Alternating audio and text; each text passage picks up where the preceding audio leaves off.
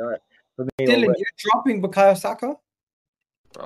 Like, it's got to get to a point. You know what I'm saying? Like, like, at some point, surely we've got to look at it and go right. Like, okay, he's sometimes he gets a goal and an assist, but more time he's stinking out the gap. Like, just at least give him competition. Like Reiss Nelson's there.